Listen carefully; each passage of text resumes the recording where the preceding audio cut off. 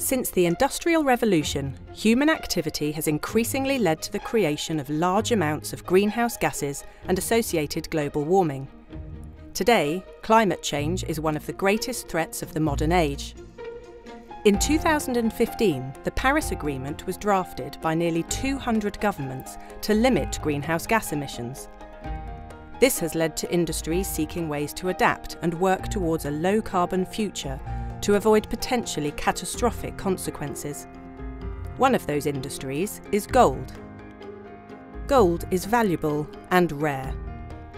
Large amounts of rock need to be mined and processed to extract every ounce of gold, and this uses significant amounts of energy.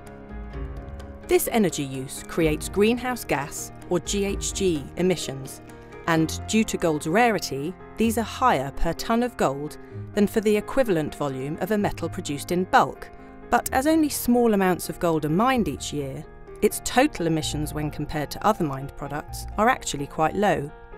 Recognising more needs to be done to reduce climate change risks, many leading gold miners are switching from fossil fuels to cleaner, more renewable energy sources such as geothermal, solar, and hydroelectric power.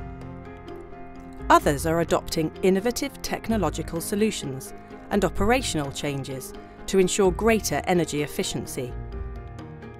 And these initiatives have additional benefits, creating safer, more efficient working environments that run with reduced costs. Gold's value has multiplied over recent decades as its role as a mainstream asset has become increasingly significant and there is now growing interest from investors in gold's carbon footprint and its climate change impacts. When we look at gold's GHG emissions intensity in terms of value, it is among the lowest of all mined products. The amount of greenhouse gas associated with a dollar spent on gold is far smaller than for a dollar spent on most other metals. Recent research has also shown that over time, gold as part of a wider portfolio might help moderate the overall carbon footprint of investor holdings. Most of the emissions attributed to gold are related to its extraction and processing.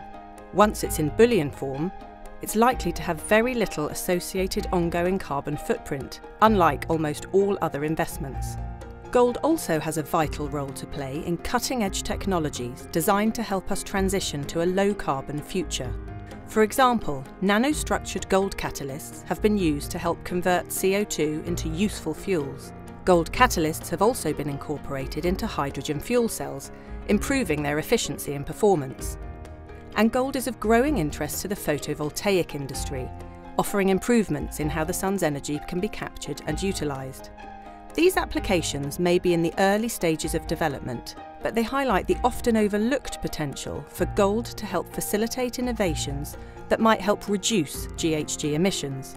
So, as the world moves to better manage the risks imposed by climate change, there are strong signs that gold can play a constructive role in the effort to secure a cleaner, more sustainable future.